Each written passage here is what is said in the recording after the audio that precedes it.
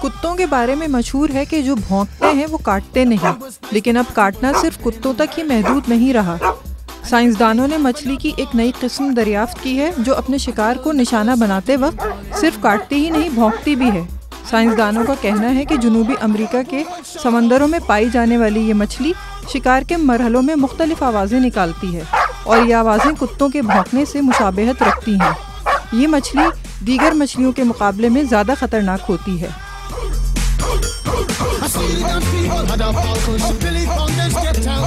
Get back, Ruffy, bash Ruffy. get back, you flea infested mongrel.